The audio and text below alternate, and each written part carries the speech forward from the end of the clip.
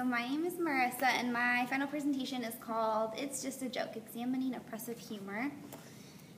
And so I started out with an agenda on my Prezi. So I'm talking about my problem. I have some video clips um, and a discussion. And then I have a couple different um, articles that I brought from the internet. One of them is called Rape Jokes versus Murder Jokes Discussion. One is uh, some borrowed guidelines, and then um, our thoughts, and then final questions.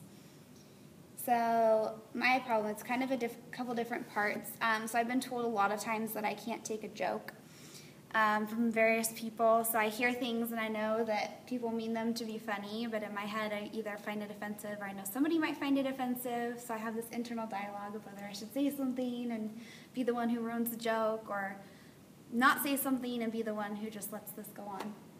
Um, and then also, is it okay to laugh? So if, is it okay if I turn on um, South Park or something? And is it okay for me to laugh because I know that it's bad, but I'm taking, you know, I'm taking my mind out of it and just laughing. So I struggle with that. Um, something else that I just kind of find interesting is when people tend to justify, including myself, justify when they tell these types of jokes, like, oh, it's okay, my my my girlfriend thinks it's funny, so it's okay if I make jokes about women or things like that. Um, people tend to justify because they don't want to be in trouble. Um, and then also, lastly, sort of like what is considered oppressive versus anti-oppressive. So if I see a message and I consider it to be oppressive, but somebody else doesn't, is it really, or how is that affecting people? Um, so then I have some different video clips, and in my handout, I'm asking people to just sort of take notes after each one. Uh, so the first, oh, I don't have notes on the first one. One of them is about a man who was talking about a situation with his girlfriend. It's a comedian. Um, it's called PMS and Red Wine. And um, just talking about how women, when they are PMSing and they drink red wine, and he compares them to being a witch. Um, and then there's another comedian who talks about um, gay neighborhoods and how his neighbors are gay. And then the last video clip, I can't remember off the top of my head.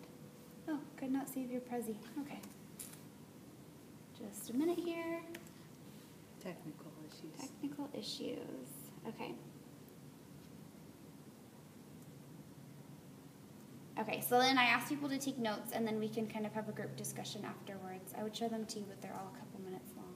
So, um, next. So just discuss what they wrote down in a small group. What were your thoughts, feelings, or reactions to the videos? Just to sort of see um, some dissonance within people, like being able to point out if something's wrong or not wrong, or if it's okay to laugh or not okay to laugh. After that, I have um, an article that someone wrote from um, the New Statesman called Rape Jokes versus Murder Jokes. Um, and it sort of compares how, like, would you tell a murder joke if you knew that that many, like, more people had been murdered in that room or had been affected by murder, and just sort of comparing the two, um, and how people will say, oh, it's okay to tell a rape joke if you know no one in the room has been affected by rape, and that kind of thing, just sort of breaking down when it's okay and if it's okay to even have these sorts of guidelines. Um, and then a discussion about whether we agree or disagree.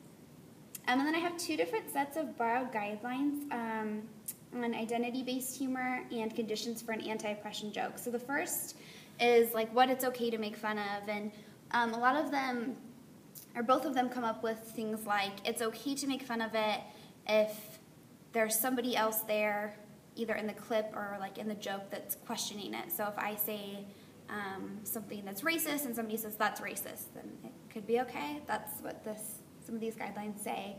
Um, and then they also say things like it's okay if it's coming from a member of that group or not coming from a member of that group, or is it not okay at all? So just some sort of um, things I borrowed from different sites about their conditions for what's okay and not okay, and then um, discussing those.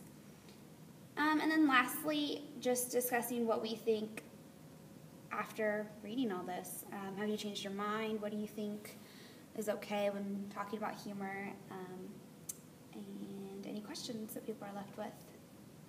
And that's all.